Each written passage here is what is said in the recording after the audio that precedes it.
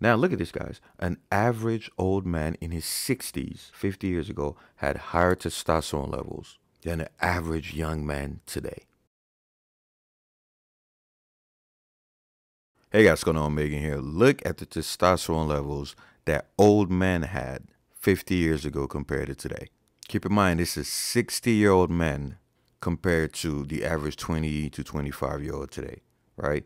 Let's start with the first group. I'm going to show you guys young men 50 years ago, old men 50 years ago, healthy and elite, right? Healthy and average compared to today. Let's start with the first category. Healthy young men about 50 years ago had about 1200 nanogram per deciliter testosterone levels, right? If you look at the literature, especially the studies that were done on Europeans and things like that, they all come to the same conclusion. Healthy young men in the 95th percentile had 1,270 nanogram per deciliter on average. And in some studies, it was actually higher than that. But hold on, it gets worse, guys. Healthy old men, about 65 years old, so between 60 and 69, had 1,189 nanogram per deciliter on average. Think about that for a second. These are healthy, elite, old men in their 60s, right? And that's going to lead into the video I'm going to make soon where I debunk the myth that age lowers testosterone. Guys, that's a bullshit myth that the TRT industry put out there because, again, it's a $2 billion industry. They have to find a way to make money. So they lied to you fuckers and told you that, oh, losing testosterone as you age is a natural process. No, it's not. No, it's not. I'm going to make a whole video debunking that. There's so many studies that actually debunk that. Aging does not lower testosterone. It's the shit that you guys do as you age that lowers testosterone. But again, I have a whole separate video planned for that. But look at this. But look at this, guys almost 1,200 nanogram per deciliter. These are 65 year old men on average. And see, look, it was quite similar to 20 year old men. And keep in mind, these were the healthy ones, the ones that were doing good habits, the ones in the 95th percentile and higher. Because we all know the strongest correlation with testosterone is your health. It's how you eat, your lifestyle, sleep, things like that, right? Especially how you eat. But now let's look at the average young man from 50 years ago, right? This is an average young man, not super in shape, not super healthy, also not super sick, just average, right? They had 754 nanogram per deciliter testosterone. That was the average.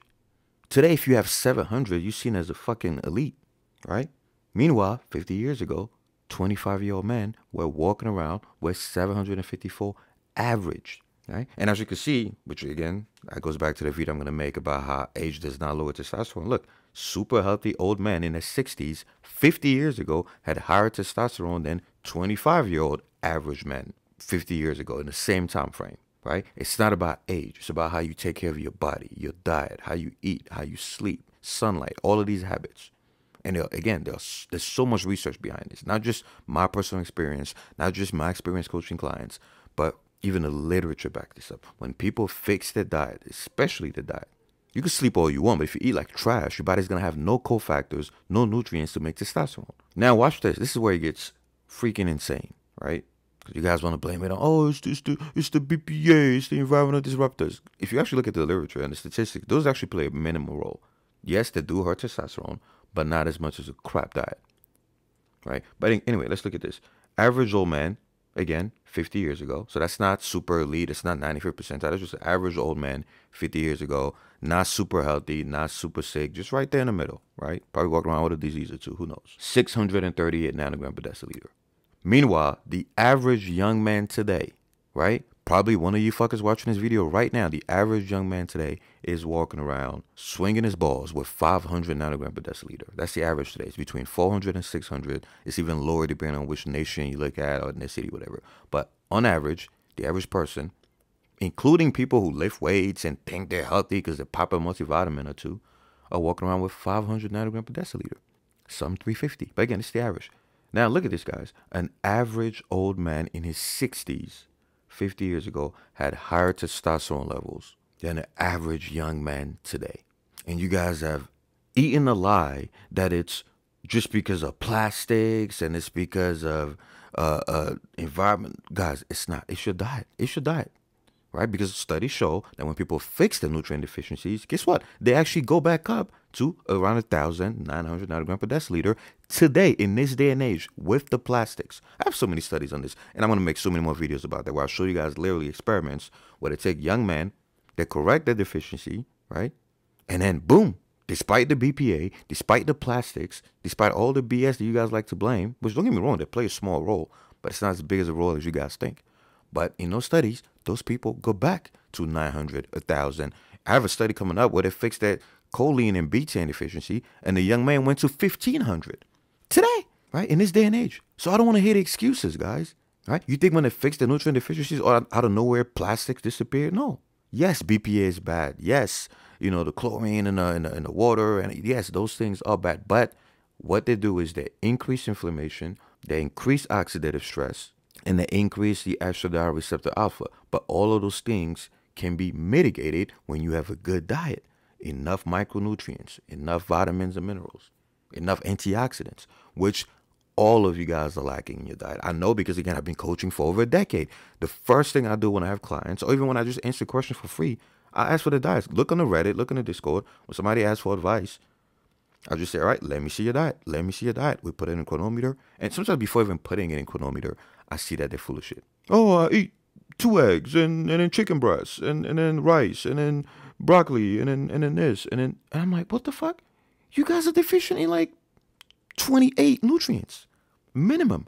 Oh, but me gonna I use a multivitamin. In fact, the use of multivitamins is the reason why a lot of you fuckers are deficient because one, you guys think that taking a multivitamin is an excuse to eat like crap, right? You think you're just gonna eat a bunch of chips and Doritos and then pop a multivitamin and it's gonna work. Wrong, right? Two, I already explained this before. Most multivitamins don't even contain the dose that they claim is inside the bottle. And number three, they compete for absorption. You are not supposed to take multivitamins.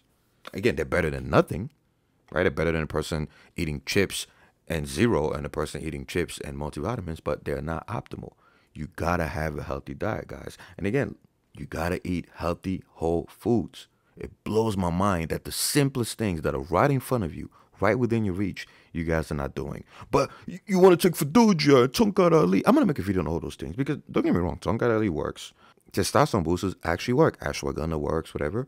But the reason why I don't recommend it is because you guys abuse them right? They are band-aid solutions. They're not meant to be used long term. They're meant to be used if you already did everything right. You already brought your testosterone levels to the high range using natural methods. And then if you want that extra boost, or you know, you traveled and you're going through a stressful exam week or whatever, then yeah, pop some ashwagandha, pop some Tongkat Ali, whatever, for just that one week, maybe one or two weeks. But you guys are using these supplements as band-aids while ignoring the root cause.